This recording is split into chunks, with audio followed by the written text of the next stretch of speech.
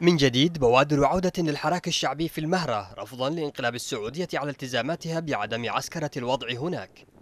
في تحد صارخ للغضب الشعبي في المحافظة المستقرة الواقعة في أقصى الشرق من الجمهورية عاودت السعودية بناء مواقع عسكرية في سواحل حصوين وسيحوت مصادر محلية قالت إن السعودية شرعت بنصب نقاط تفتيش وباشرت بإنشاء مواقع عسكرية في مناطق آمنة ونائية. يحاول المهريون إيقافها بما أوتوا من إمكانات. هذه الموقع جابوا قوات التحالف قبل أسبوع عندنا. كانوا بيحطونه في موقع خيسيت. وبعدين عرضناهم المواطنين لما تحلوا هنا بالغصب. جاوا هنا. ولحد الآن كل المواطنين معارضين. مثلنا ومثل زي المديريات. أما زايد على أربعة معسكرات حطوه في مديرية حسوين. واحدة في جدو واحدة عند الوادي هنا قالوا الثاني. وبيصلحوا واحدة هنا. وكل المواطنين معارضين.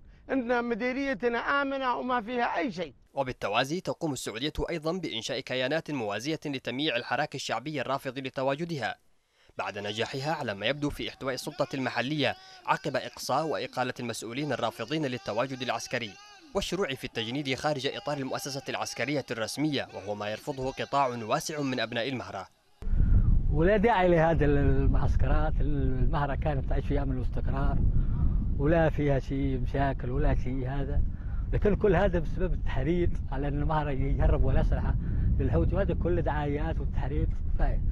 لا يوجد تهريب السلاح ولا مسكوا مهري واحد هرب الاسلحه للحوثي ابدا.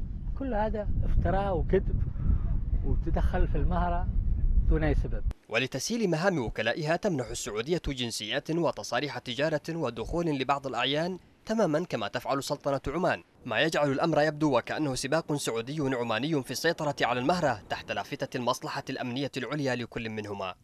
مع الأيام تتأكد أطماع السعودية في ثاني أكبر المحافظات اليمنية مساحة وتحقيق هدفها الاستراتيجي المتمثل في بناء ميناء بحري في نشطون.